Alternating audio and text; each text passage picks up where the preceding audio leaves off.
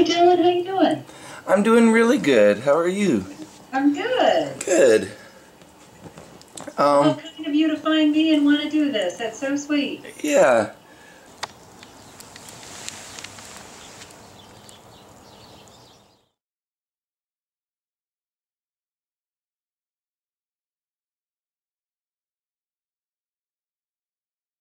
Um, I missed you the first time, so it's been quite a wait, but uh, yeah, I'm I'm happy to um, um finally connect with you. Yeah, nice to connect with you. Yeah, I was really, really, uh, just, uh, it, it touched my heart. Just the whole project and everything. Um, I love it. And, yeah, uh, one thing that, uh, really stood out f- from, it's just the whole idea of that we are not what happens to us. And, and moving past that, and just from dealing with um, my mental health, like for my whole life, um, and then just uh, moving past that, kind of just uh, getting the help that I needed so that I can actually um, cope. Um, yeah, and and that was that that was huge. Uh, I totally get it. yeah. Yeah. Um, so, i- mean, n- not just to focus on the project itself, but I kind of wanted to know a little bit more about you. Um, Well, you can ask me whatever you want. How's that? okay. Yeah, I don't care. You can ask me whatever you want. yeah. Um, I was wondering if uh, you had uh, ever struggled with your mental health in the past.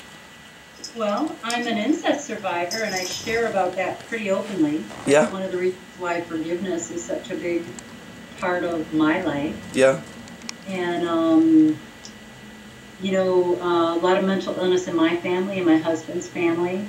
And even though it probably wouldn't be categorized as a mental illness, I come from a long line of alcoholics and molestation in the family systems, rageaholics, so Hmm. lots of mental illness in both lineages, mine and my husband's for sure.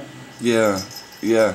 Um, and that's really, really tough to deal with uh, by yourself. Um, so I'm curious to what you did f- for help, or what was Yeah. your your breaking point. You know what's funny is, and you might be able to relate to this too. When I was like, when I was 13, hmm I remember saying to myself, my family is batshit crazy. Hmm. And um, quite frankly, I know I got to go to counseling and get some help when I get older, and I'm in a position to be able to do that Hmm. because this is pure insanity around me. Hmm. And um, I knew that at a young age, you know? Yeah. And so I've been a huge proponent of 12 step programs, Oh, good. Yeah. real active in adult children of alcoholics myself. I wasn't alcoholic, I just happened to marry a couple of them. Yeah. And, uh, you, Yeah. know, you know how the system, you know how it goes. Yeah. My And dad's very- uh, a, an alcoholic, so And yeah, many, many years of incest recovery, lots of counseling, lots of courses. I've read lots of books and have taken so many and have taken so many courses on personal and professional development to work on completing my past. hmm. So some freedom. Yeah. And I think it's a coincidence that I'm leading a project on forgiveness, you know? Yeah, exactly. Um, uh, but I mean, i it's it's good. I think it's therapeutic, maybe for you too, just to to connect with all like different people and hear their stories. Um, for me, I find it yeah, just connecting with different people. It's given me a whole different perspective. Um, especially people with uh, physical disabilities. Um, my nephew was born blind and he's seven now but that was kind of the eye opener for me. Um, my sister lived with me we were really close and he was premature and it just kind of took us by storm. Like and the amount of surgeries that he had within the first month was just through the roof. So the stress level was just yeah, just crazy.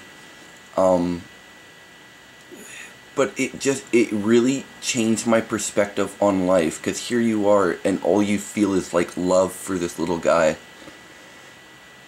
but in my mind, I couldn't wrap my brain around the fact of like he's blind, and I always thought like, oh, if that would happen, if that happened to me, like life would suck. Like I'd hate everything. But that's a very like that's not a, a, very good way to think. Um, and it wasn't in, like you just kind of move on and um, adapt, really. And he's, I mean, he's such a joy to, to have around. Um,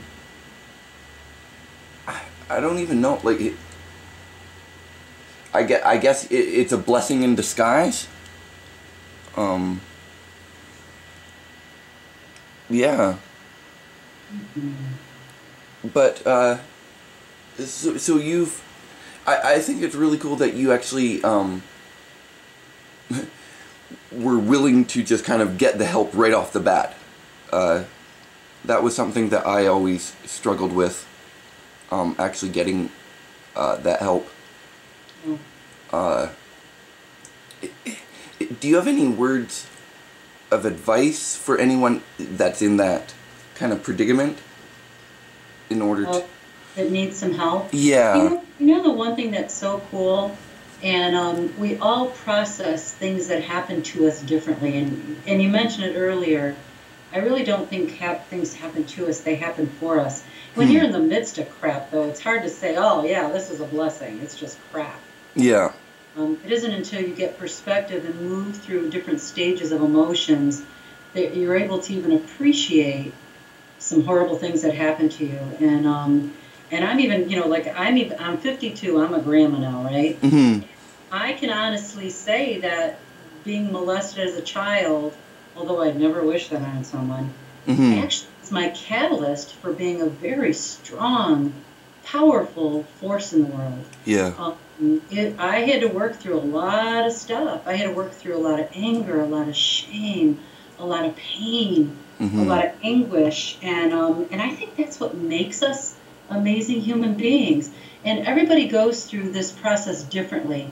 So the comparisons suck. You know, the biggest thing, don't compare yourself to anyone's progress. Yeah. I see it all the time on Project Forgive, like, oh my gosh, they forgave so quickly. I to say, so what? Who gives a crap?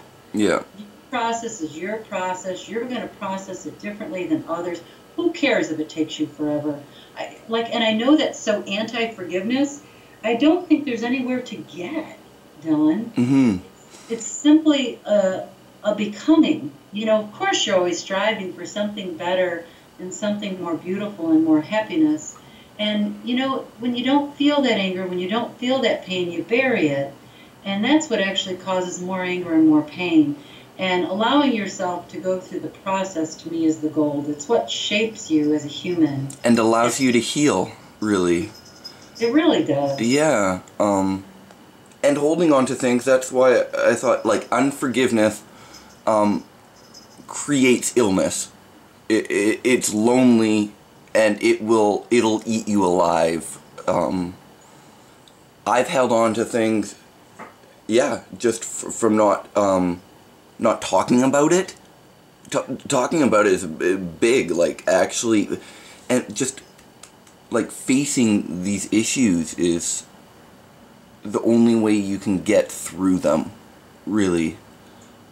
Uh, you know, for anyone that's stuck, that's listening, it, you know, like you're you're just so angry, you can't even see the possibility of forgiveness. You know what I always say, and a lot of, t- and I do it in my trainings and everything because um, Project Forgive is now a leadership foundation. We train in these kinds of conversations. Mm. The first step to forgiveness is the willingness to look at the conversation. And and I remember at different points too, I've learned so much doing this project. I thought I had completely forgiven my mother. I went to a whole nother layer of that. it's so beautiful now. And yeah. um and it's at another layer of beauty. And it, I might go backwards in some places too, or find some places that weren't complete. And that's part of the process. But what I've noticed, that if I feel stuck, I practice the mantra saying, Shawne, can you forgive yourself for not being very forgiving here? Hmm. can you forgive yourself that you just can't forgive right now and that's just the way it is? Yeah. My answer is absolutely yes. Because that's actually what starts the process of forgiveness. And it doesn't mean the other person did what they did was okay or that you're going to forget it. Who's going to forget their child being murdered? I mean, Yeah. that is simply silly, Yeah. right? And um, no, it's more about seeing things with fresh eyes or with new eyes, with a new awareness. And um, doesn't mean you condone it. Doesn't mean doesn't mean any of those things. It's really just like you said. It's about getting peace for yourself so you can breathe. Yeah, yeah, yeah, ju- and move on. Like you just gotta, you you have to, really. Um, Yeah, and you know the other thing too, when I think about the word moving on, you know the Project Forgive documentary, which is launching this year. yeah, Um, Gary was the catalyst for us. Gary lost his wife and two children to a drunk driver. A drunk Yeah. driver killed. And the catalyst for the film was this story because we not only do know Gary and his family, we also know the man who killed them. yeah, And um, in watching Gary go through this process over several years of losing his family, you know, he wouldn't call it moving on. Because, you know, graduation is getting ready to come up, and both his sons would have graduated from high school by now. Because mm, they, uh, they were 9 and 12 when they were killed by a Hmm. drunk driver. yeah, And, you know, what if moving on is just merely acceptance? yeah, you know, because sometimes moving on implies that you're leaving it behind you. You know, there's certain things you can leave behind you, like the guy who who flipped you off on the road and you're ticked off because he cut you off on the road. Like you can leave that one behind. That's an easy one. Yeah. So, right. yeah, Biggies. The biggies like being molested or growing up in an abusive family system or a mother who was drug addicted. Yeah, own forgiveness around your mental health. You know, why can't I be better than this? What's wrong with me? It's a biological disposition. You have no control over the biology of your brain, the physiology of your brain. yeah, exactly. you kill yourself over that. You know, it's like those are the cards you were dealt, man. and um, what are you going to do with the cards that you're dealt? And you know, and I'm not like dissing you saying moving on. No, I, yeah, You know, it's time to have another perspective around moving on because you're already there. There's nowhere to move to or from. You, this is it, man.